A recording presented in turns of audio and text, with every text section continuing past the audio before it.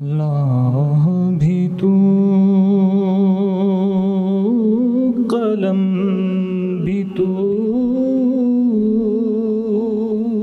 तेरा वो अल सुनहरी तफसीर कुरान तकरीबन दस मुजलदात पर मुश्तमिल एक ऐसी किताब है जिसे खसूसी तौर पर हर मुस्लिम घराने की जीनत बनना चाहिए, ताकि रमज़ान मुबारक के बाबरकत महीने में लोग वक्ता फ़वक्ता दरस क़ुरान की सूरत में, जहाँ मसाजिद और मदारस में इस्तेफ़ादा करते रहते हैं तो कोशिश ये हो कि रमज़ान मुबारक के महीने में सुनहरी दरस क़ुरान और सुनहरी तफसर क़ुरान से अपने क़लूब को मनवर किया जाए। डॉक्टर इस्माइल बदानवी साहब ने बच्चों के लिए जो कुरानी वाक़ात लिखे हैं, वो ख्याली या फ़र्जी नहीं, बल्कि उन्होंने कुरान के मुख्तलिफ़ आयात में से एक एक सबक आमोज वाक़ मुरतब किया है, सुनहरी तफीम कुरान प्रोफेसर डॉक्टर मोहम्मद इसमाइल बदायूनी ने कुरानी मौजूद पर बच्चों के फ़हम के मुताबिक जो लिखा है, उसे तवील नहीं किया।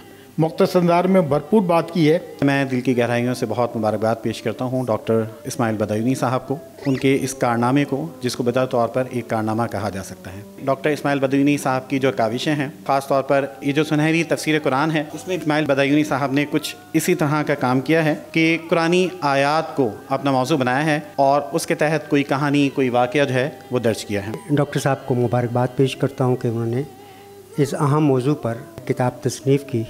इस नोयत की, मैं समझता हूँ कि ये बकमाल और ये खिला जो अरस दराज से महसूस किया जा रहा था कि बच्चों के बारे में कुरान कुरान सबके लिए हिदायत है, लेकिन कभी किसी भी इस मौजू पर कोई तफसीर नहीं।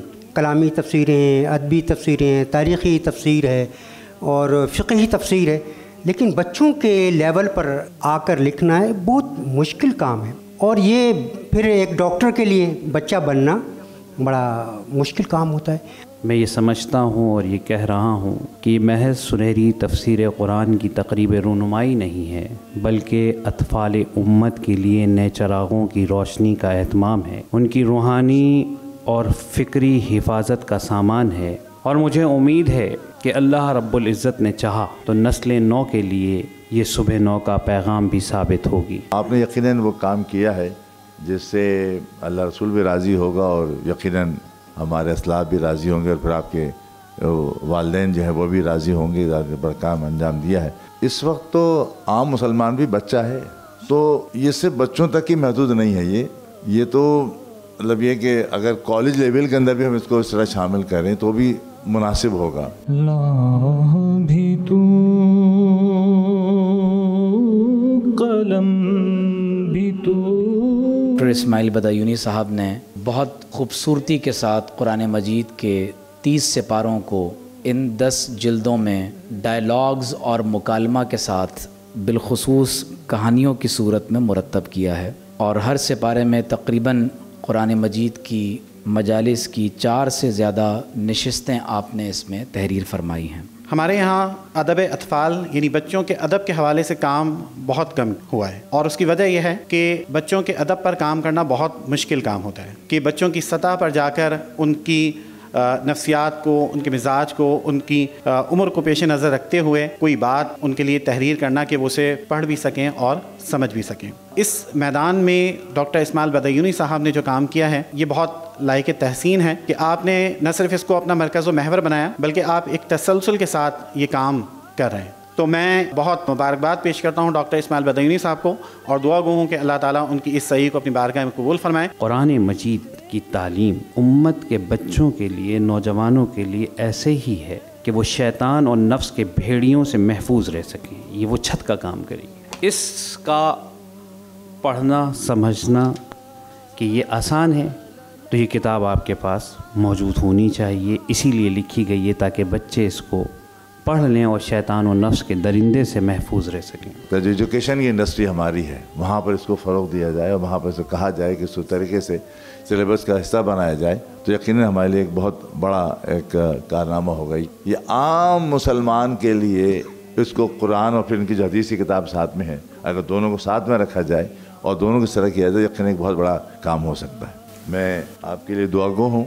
अल्लाह ताला आपके कलम मज़ीद बरकतें अता फ़रमाए और इससे ज़्यादा क़वत अता फ़रमाए। डॉक्टर इसमाइल बदायूनी ने ख़ास तौर पर इस किताब के हर जल्द के आखिर में इस बात को ज़रूर मेंशन किया है। हर मजलिस के आखिर में कोशिश की है कि इसका अहतमाम किया जाए। कि आज हमने क्या सीखा और उसके साथ फिर अमली मश्क की सूरत में आपने आखिर में चार्ट्स भी दे दिए कि जिनको बाकायदा बच्चे अपने हाथों से पुर करते हुए यकीनन एक अमली सरगर्मी के साथ कुरान मजीद की इन नशस्तों को अपने कल्ब जहन में बहुत बेहतर अंदाज से समो सकते हैं। डॉक्टर साहब एक इल्म दोस्त इंसान हैं और एक ऐसी शख्सियत हैं जिनकी ज़ात से लोगों को नफ़ा तो पहुँचता है और कभी ज़रर नहीं पहुँचता।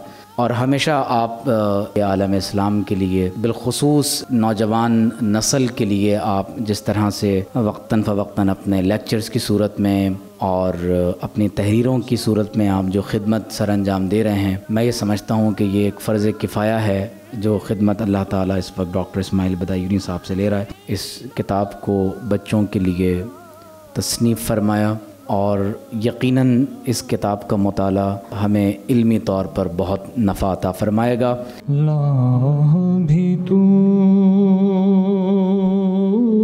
कलम भी तू